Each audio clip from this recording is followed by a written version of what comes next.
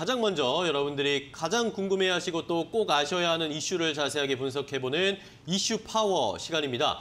자, 오늘은 코스파트너스의 조현경 연구원과 함께 이야기 나눠보도록 하겠습니다. 연구원님, 안녕하세요. 네, 안녕하세요. 반갑습니다. 자, 오늘 또 연구원님과는 어떤 이야기를 나눠볼지 앞서서 뭐 설명을 드렸지만 많은 분들이 예상을 하고 계실 것 같습니다. 일단은 첫 번째 이슈부터 화면으로 바로 공개하겠습니다. 자, 오늘 삼성전자의 2분기 잠정 실적이 발표가 됐습니다. 일단 2분기 성적표가 맑다라는 평가들이 나오고 있는데요. 2분기 잠정 영업이익 12조 5천억 원을 기록하면서 전년 동기 대비해서 53% 넘게 증가한 수치였습니다. 자, 하지만 주가는 아직 움직이지 않고 있는데 삼성전자 과연 실적 발표 후에 주가가 움직일 수 있을지 자세하게 분석해 보도록 하겠습니다. 자, 오늘 삼성전자의 잠정 실적이 장 시작 전에 발표가 됐습니다. 많은 분들이 기대를 했고 잘 나올 거다 뭐 이런 예상은 했는데 일단은 12조, 영업이익이 12조를 넘어버렸습니다. 뭐 반도체 때문이다, 반도체가 너무 좋았다, 뭐 반도체 쇼티지 이런 이야기 나왔지만 전혀 별로 상관이 없었던 것 같아요. 어떻게 보셨어요? 네, 일단 어, 본격적으로 오늘을 통해서 실적 시즌이 이제 시작이 되는 상황인데 네. 이 삼성전자에 대한 어떤 그 반도체 우려감이 있었지만 결국에는 이번 실적 earning surprise에 또 기여를 한 부분은 또 반도체를 또 빼놓을 수는 없을 그렇죠. 것 같습니다. 그래서 뭐 구체적인 이 사업부별 수치가 나온 것은 아니지만 그래도 어, 이 계속해서 수출 쪽에 있어가지고 견조한 흐름을 계속 보여주었다는 점. 그래서 어, 지금 현재 어떻게 보면은 이제 지난해에 또 이제 중국에서 어떤 코로나가 조금 잡히기 시작하면서 소비가 또 살아났고 이 경기가 좀 침체되어 놨다 되었다가 또 살아나는 그런 과정 속에서 네. 재고를 좀 축적해 놓으려는 그런 음. 모습이 좀 나아졌고요. 그래서 뭐 서버용 디램이라든지 이러한 부분에 있어가지고 매출 증가가 계속해서 좀 일어났던 부분인데 이러한 어떤 일정 부분 재고가 어느 정도는 좀 쌓여 있다. 이렇게 보실 수가 있으실 것 같고요. 그래서 이러한 기저 효과로 인해서 오히려 2분기에 이어서 어, 3분기까지도 실적이 계속해서 좀 이어져 나갈지 그런 음. 부분에 있어가지고 시장 기대치에 충족을 하는 모습이 나와줄지 체크가 필요 할 것 같습니다. 네. 어, 관건은 이제 이 코로나 변수가 언제까지도 이어질지일 것 같은데요. 네.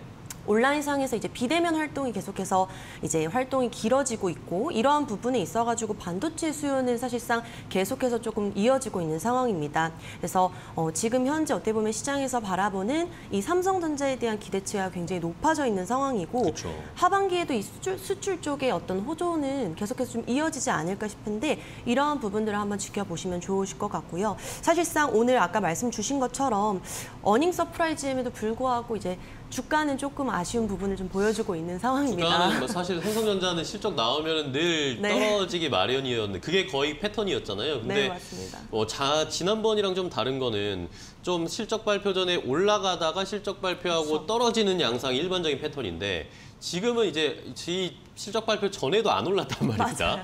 아, 그러기 때문에 더 좀 답답해 하시는 것 같아요. 네, 맞습니다. 항상 이 실적이 잘 나올 거다, 잘 나올 거다 기대치가 있었고 그 전에 주가에서 굉장히 상승세가 있었지만 이번 같은 경우에는 계속 박스권을 그 네. 유지를 네. 했기 때문에 굉장히 답답한 흐름이었는데요. 그래서 어떻게 보면은 어, 이 목표 주가를 좀 상향을 하고 또 뭐 컨센서스를 굉장히 상회하는 이런 earning surprise가 나왔음에도 불구하고 지금 현재 나오고 있지 않은 부분에 있어가지고는 아무래도 어, 이 하반기 메모리 업황에 대해서 네. 좀 피크아웃 얘기가 계속해서 나오고 있고 이 정점을 찍어가고 있다는 우려감이 있는 부분이 좀 반영이 되고 있는 것 같습니다. 그래서 2분기 실적은 좋았지만 어느 정도 조금 예상이 되었던 부분이기도 하고 음. 그렇다면은 이 하반기에도 우리가 이제 뭐 내년 상반기까지도 이 우려들이 어떤 식으로 조금 잠식이 되는지 그런 부분들을 조금 살펴보실 필요가 있으실 것 같고요.